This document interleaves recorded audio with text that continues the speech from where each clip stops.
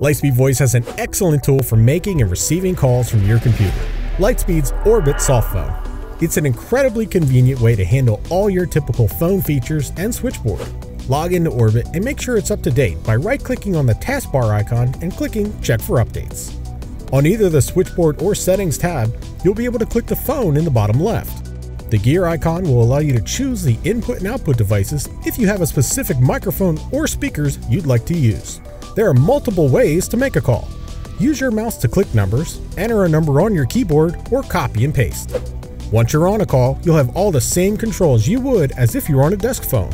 Mute or put that call on hold with the corresponding icons. Start a conference in the bottom left or a new call in the bottom right. And quickly transfer a call by clicking the transfer dropdown, where you'll see all the options for moving that phone call.